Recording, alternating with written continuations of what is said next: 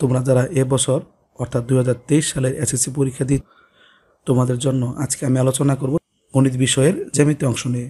তোমরা যারা এখনও গণিত বিষয়ের এই জ্যামিতি অংশ নিয়ে দুশ্চিন্তায় আছো, অথবা এখনও তোমরা এই জ্যামিতি অংশ পড়া শুরু করনি, তারা শুধু আমি আজকে যে সাজেশনগুলো তোমাদেরকে দিব, সেগুলোই একটু আয়ত্ত করে তাহলে পরীক্ষায় অবশ্যই কমন পাবে। জ্যামিতি অংশে তিনটি প্রশ্ন থাকবে। এখানে যে কোনো দুইটির উত্তর দিতে হবে। নাম্বার থাকবে বিশ।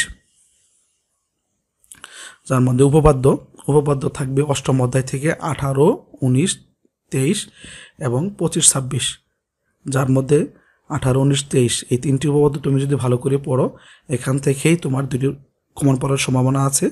তারপরে পঁচিশ এবং ছাব্বিশ আমি আলাদা আরেকটি পাঠ করেছি।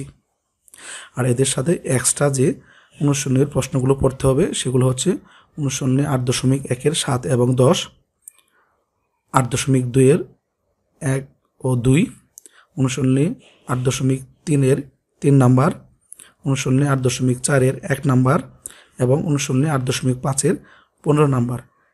এই কয়টা উপপাদ্যের সাথে এই এই কয়টা এক্সট্রা পড়তে হবে, তাহলে তোমার উপপাদ্যতে কমন আসবে ইনশাল্লাহ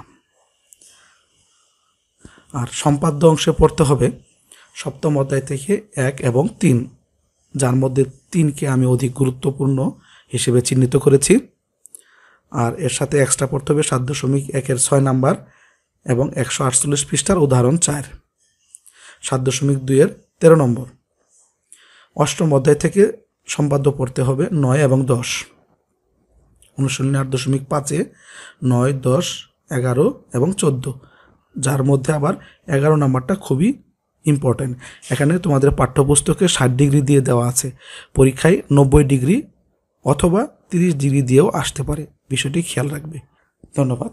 আমি আশা করব তোমরা যারা এখনও গণিত বিষয়ের জ্যামিত অংশ নিয়ে দুশ্চিন্তায় আছো শুধুমাত্র তোমরা এই অংশগুলো যদি একটু আয়ত্ত করার চেষ্টা করো, তাহলে অবশ্যই তোমার সামনে গণিত পরীক্ষা ভালো হবে। আর এখনও তোমাদের তিন চার দিন সময় আছে, যারা গণিতের জ্যামিত অংশ শুরুই করনি, আশা করব আমি এই কয়েকদিনের মধ্যে এগুলো অবশ্যই তুমি রিভিশনে রাখতে পারবে। ধন্যবাদ, ভালো থাকবে এবং চ্যানেলটি সাবস্ক্রাইব করে রাখবে পরবর্তী ভিডিও পাওয়ার জন্য।